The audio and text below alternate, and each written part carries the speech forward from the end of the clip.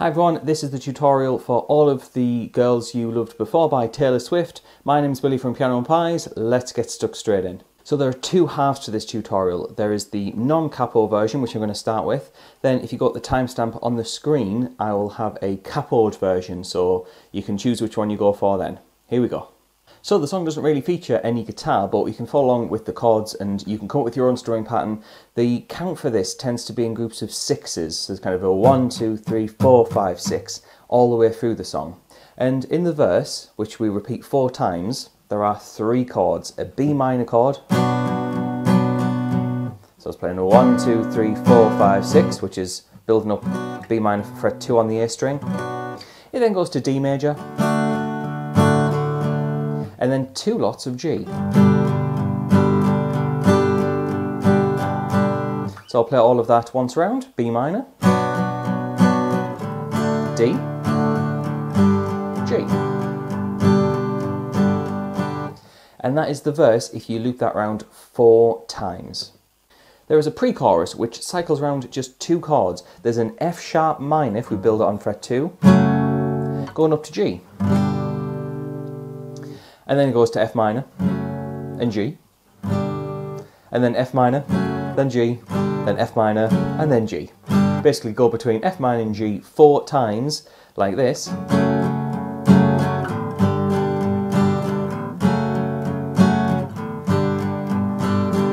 Well, that was half of it. Do it another two times, and then you've got the full pre-chorus, F sharp minor and G. We then get to a chorus. Now the chorus, there's a few different parts for this. So if you want to get the full chord progression as well as the chords and the lyrics, feel free to check out my Patreon. There's a £2 tier where you can get all the handy PDFs and it means you can follow all the chords correctly without skipping anything. However, um, here's uh, all the chorus chords that you need. So we've got B minor, then an A major chord. Then after that, there's an E minor chord, followed by a G chord. So for the first part of the chorus, I'll just go over that again. B minor, A, E minor, G. Now the good news is the second lot of chords in the chorus are exactly the same. B minor, A, E minor, G. The third time round they change it from B minor up to D, then G, then G again. And the final time round, they go back almost to the first chord progression of the chorus. It's B minor, A, then E minor, and stay on it. So there's a lot of chords in that chorus. Uh, feel free to scribble it down or head on over to Patreon. Um, links are in the description for that. So after that, things kind of repeat. There is a second verse, same chords as before, B minor, D, then two lots of G, four times round. There is then a pre-chorus, F sharp minor to G, F sharp minor to G. Now the first pre-chorus, they do that four times. However, on this pre-chorus, it's just twice round. So F sharp minor G, F sharp minor G.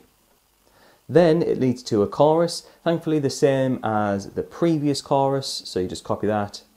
There is then a bridge, and the bridge section, the kind of the middle section of the song, the middle eight, um, is the same as the pre-chorus, F sharp minor G, F sharp minor G, but they do the longer version, so you play those lots of chords four times in a row.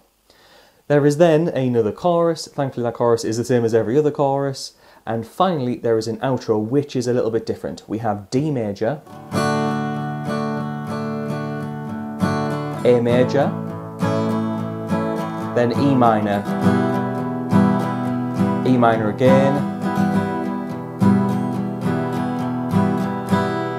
D, a, E minor, E minor again. And that is the outro of the song.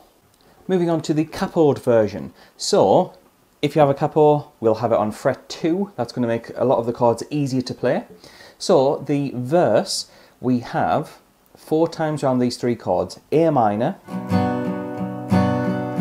we're counting groups of six. So if you haven't watched the previous part of the video, I talked about six kind of beats of strumming. We then go to C major, and then two bars of F major. Now there's no guitar in this song, so I've come up with that strumming pattern on my own. However, feel free to adapt it in your own way, but that's the length of time for the verse of the chords. A minor for a bar, C for a bar, and two bars of F. Repeat all of that four times. I'll play it through once.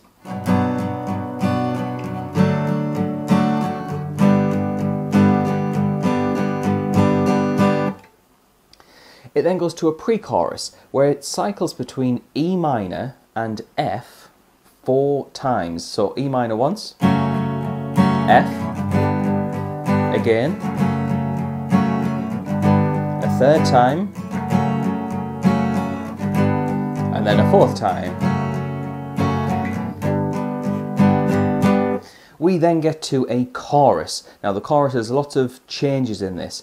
So if you never heard the first part of the video, I have a Patreon page where you can get all of the chords as well as the lyrics and the chords matching up. You can get that for the capo and non-capo version. There's a link in the description. It's a £2 tier and uh, you get everything there.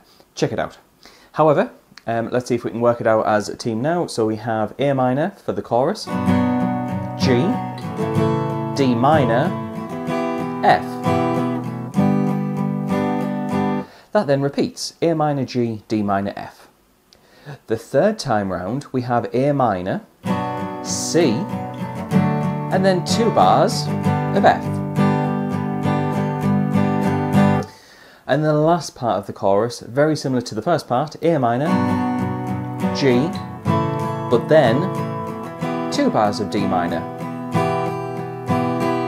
So you can see there's lots of slight changes there. Feel free to scribble it down or head on over to Patreon.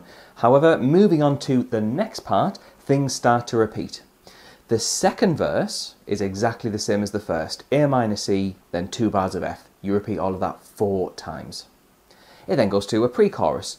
Unlike the first pre-chorus between E minor and F four times round, just do it twice round. E minor F, E minor F. We then get to a second chorus. The second chorus, same as the first. There's then a bridge section, thankfully the same as the first pre-chorus, E minor F, E minor F, E minor F, E minor F, four times round. We then get to another chorus, thankfully the same as every other chorus.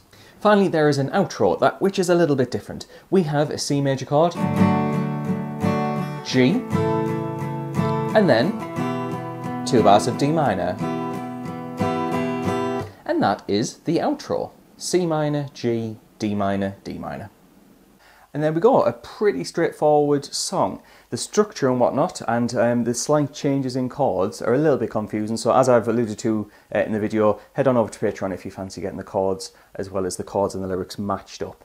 Um, however, I'm getting very close to a thousand subscribers. Please like and subscribe. I'm so, so close. Um, I'd love it to get it in the next month or so. So thank you very much for watching, guys. I shall see you in the next video.